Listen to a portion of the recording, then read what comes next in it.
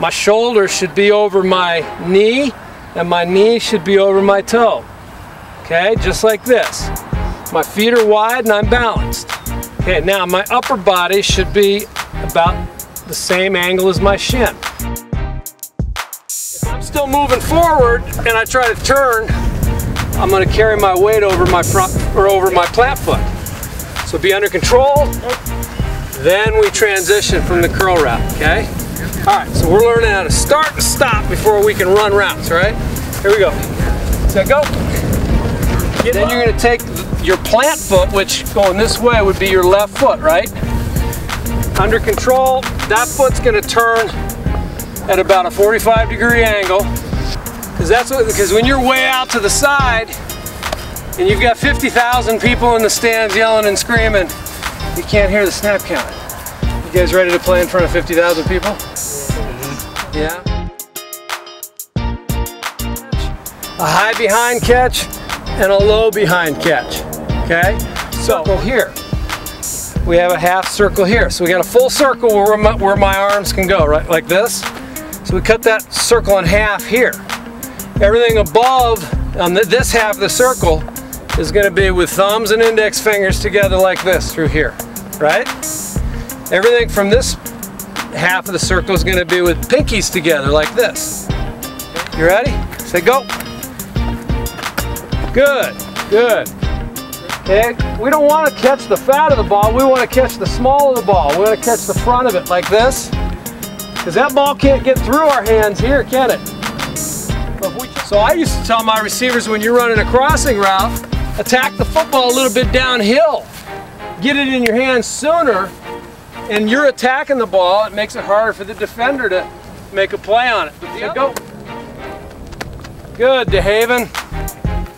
Say go. Good job, excellent. Pull it into a tuck. There you go, that's the way. Say go. Ah, that's a great job there. The reason Luke, I like to catch the ball like this is because this brings this shoulder down here. Now when I catch, I can make a transition upfield easier with this shoulder down. If I'm like this, okay, first of all, it's a harder catch because the ball can go off my hands. And secondly, I've got to pull it in and now I've got to transition my shoulder. We're running this way, we're gonna catch it and we're gonna turn. When the ball's in the air, the route, the pass route is no longer, no longer counts. You go get the football. So it's okay, you can stop and go back and Listen, it. I'm making him do it again, but you guys are learning from this, right? Because you're seeing what's right and what's wrong. Okay? Turn hands. So go. Excellent job. Say go. Good, perfect. That's exactly what we want. You see how easy that is? How natural that feels when you catch it and you turn like that? Excellent. Good job. Okay, so if my hands are down here, my eyes are there.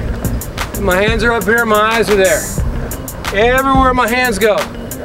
So you can sit in class in school next year and you can, on your free time, you do this. And people will think you're weird, but you just tell them I'm practicing football. Practicing how to catch. Okay? Hands and eyes working together, all right? Stalk block means you're following somebody around wherever they go. If Mazenga goes this way, where am I going? Same way. Same way. I'm stalking him, right? Wherever he goes, I'm stalking him. So we want to come off the line of scrimmage running really hard, just like we would on a pass route, so that this guy can't tell. Is when I come off the line of scrimmage, I need to break down about three yards from him.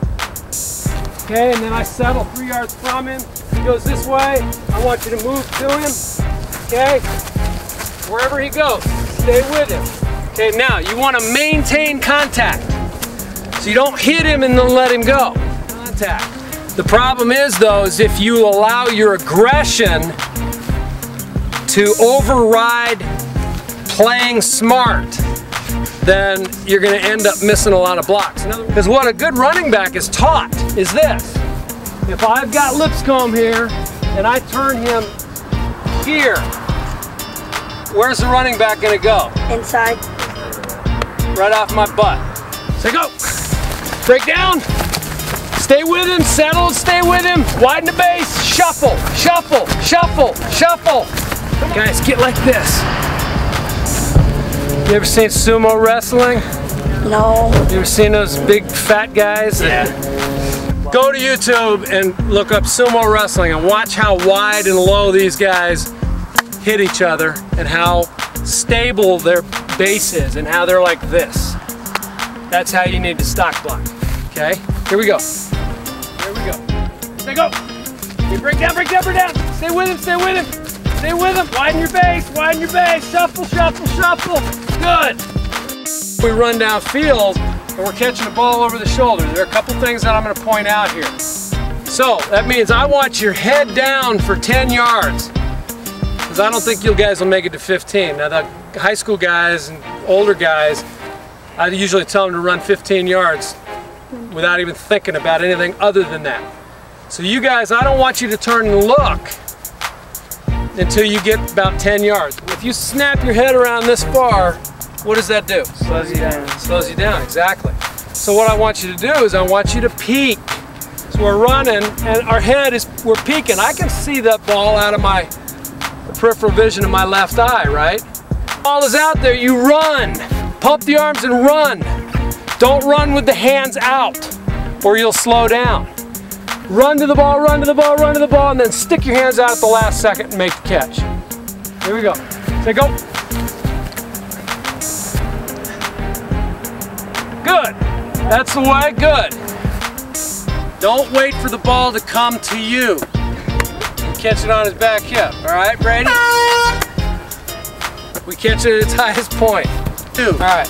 Remember when I said earlier, when the ball is in the air, the route is off.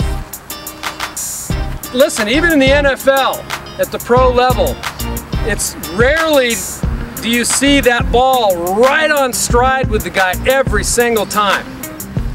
Good receivers will adjust to the football. They take their body to the ball. So if I'm running down the field and I see that ball isn't perfectly thrown, I go get the football. Okay, I take my body to it. Don't wait for it. Because that defensive back's looking back, he sees the ball, he's going after the ball. If you wait for it, he's gonna step in front of you, pick it off, and he's gonna go the other direction. Take your body to the ball, get to the ball, catch it at its highest point from here on up if you can. There you go, a little better when you throw it earlier. Okay, good, guys, So go. good. Up, get up in the air, catch it up here. Right? Oh, there you go. Jump, there you go. Yeah. Good job. Not Not many of them understand that. If you learn how to catch the ball up here at its highest point, because I guarantee you, you're not getting a lot of throws on stride at, at the level you play at, right? Balls probably, how many guys have balls that are pretty much going everywhere, right? Yeah, so you gotta learn to adjust to them, okay? All right, Luke, jump up and catch it above your head. Up, that's the right idea. Here we go. So we come here, sit, move to the ball, step inside, and then back outside. Okay? Turn out, there you go, that's the way. Turn outside, excellent. Good. Come to it. Outside, outside. And we make what's called a 45 degree angle inside. So we start with our outside foot back. Okay, we're one, two, three, change directions, 45 degrees inside. Okay, one, two, three. Up. Now what did you do with your hand? You're good. Okay, you, you're a very talented kid. You're gonna be a good receiver when you get older. But be coachable and understand that there's a lot you can still learn. Okay? So, if you take your ability level and you add to that all the right techniques, you can be as good as you want to be. Okay? So don't do this. Do this or this. Okay? There you go. There you go. Good job. Good job. There you go. There you go. Good go. job. That's better. There you go. Come on, Luke. Come on, Luke. Run to it. Oh, there go. There we go. Good.